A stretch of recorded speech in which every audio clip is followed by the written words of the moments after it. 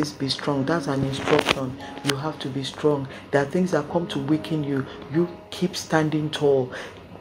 Goliath tried to intimidate David by his size and all the, the, the boast, but he remained strong. He maintain his composure maintain your composure whatever it is even if it's your finances that is trying to intimidate you maintain your composure and put your focus on the god who can supply all your needs and i want you to know that as you stand strong in in Christ. It's a demonstration of your confidence in Him and a demonstration of faith. Don't let anything floor you.